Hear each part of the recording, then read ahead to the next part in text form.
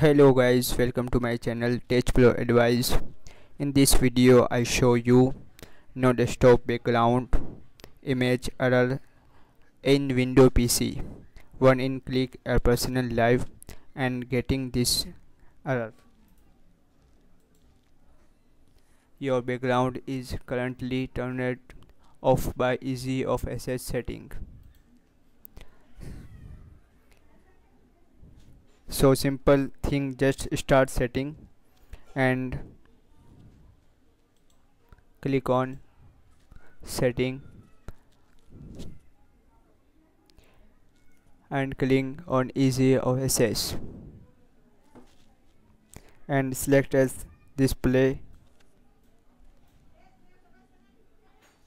Show desktop background image. Click on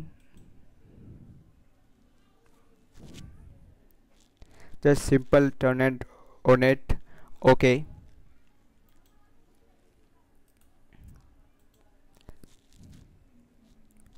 Clovid and budget in go this word background.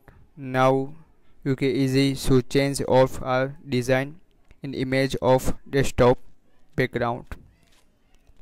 Yes this is simple and very easy method